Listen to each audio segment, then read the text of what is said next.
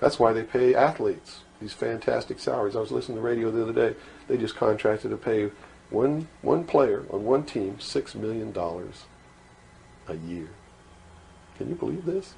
And why is that? It's the Roman circus.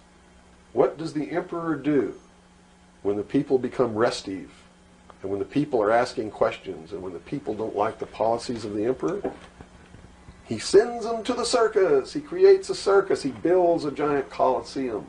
And he begins to throw the Christians to the lions. And he has great chariot races and football games and basketball games, all to keep the idiots preoccupied with things that don't mean anything in the scheme of the entire world.